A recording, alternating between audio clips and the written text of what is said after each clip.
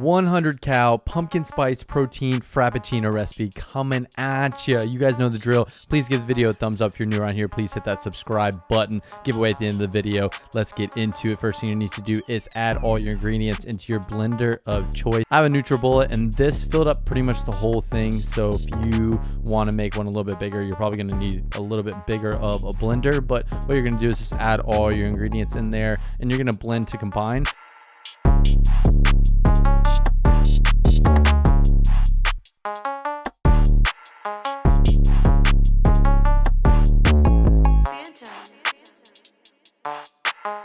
And then you're gonna add your ice in there blend until you have no chunks and you have that nice frappuccino like consistency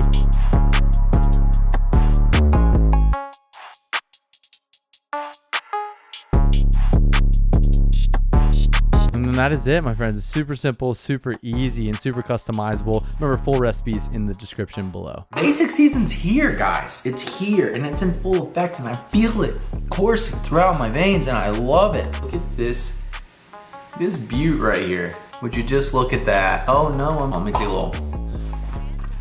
Mm, mm, mm, mm. Put the cover on top so it's authentic. Mean, look at this thing, guys. Incredible. And this is how much is left in the blender.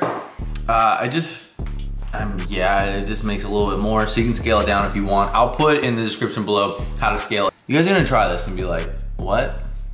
Like what? Deep down inside, I'm a basic little B. Like, uh, it's just, it's just the moral story. If you guys have been following for a while, like you know. I have high standards, let's be real, I have high standards for anything that is quote unquote basic. And Richard Simmons, right here, Richard Simmons, one of the most basic human beings, that's a compliment of all time, would approve this pumpkin spice frappuccino. Six carb, 4 fat, 19 protons. What? Not gonna lie, my voice sounds pretty bad right now. I got pretty schwasty pants last night. Went to a Quinn Quans, Quinn Quans, went to a Quinn concert, it was super fun. So this is actually acting as a nice little hangover remedy as well. I am not trying to keep you guys here longer than it needs to happen, you know what I mean? Like, this is just the real deal. Give it a try. Tag me on the gram when you guys give this a try.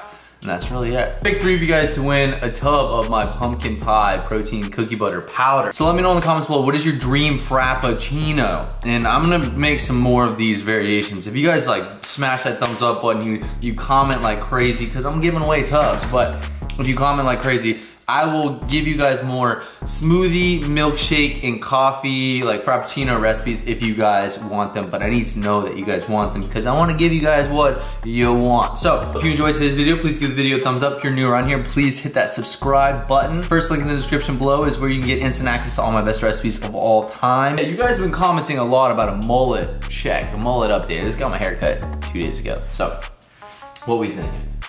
Guys, it's getting, I'm gonna put a picture on the screen uh, before I got my haircut, I was able to put it in like double braids. Like I'll put a picture on the screen, this shit was crazy. But uh, yeah, that's it. I hope you guys uh, enjoyed a little mullet check. I love you guys, I appreciate you guys. I'll see you guys in the next video.